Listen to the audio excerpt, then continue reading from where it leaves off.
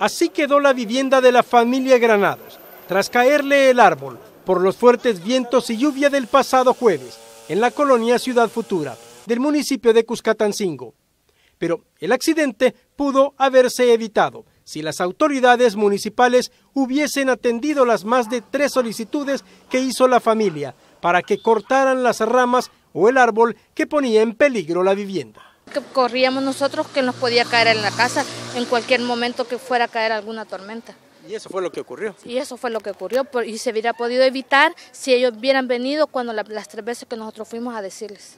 Que me ayude a, responder porque si él lo hubiera evitado venir a quitar eso antes, igual no se hubiera habido pasado eso eso lo que pasó ahorita. Ahora esperan una pronta ayuda de parte de la municipalidad de Cuscatancingo, mientras otros vecinos están podando los árboles que también amenazan sus viviendas, a pesar que también han solicitado ayuda a la alcaldía.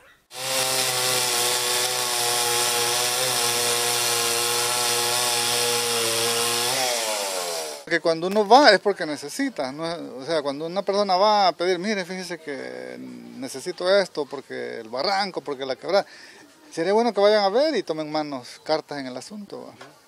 Entonces aquí hay varios árboles, como pueden ver ahí, este, que necesitan que se pueden, porque ahora no pasó nada, pero después puede ser este, lamentable.